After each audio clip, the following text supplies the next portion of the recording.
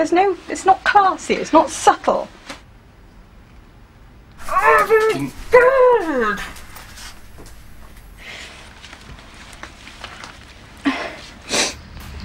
Hello.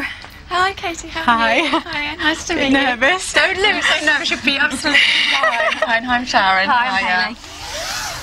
You're shaking, Katie. I know. Stop. Okay. You okay?